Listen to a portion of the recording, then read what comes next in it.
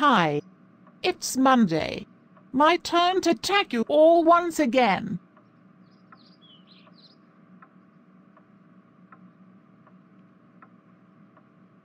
But apparently I'm not going to.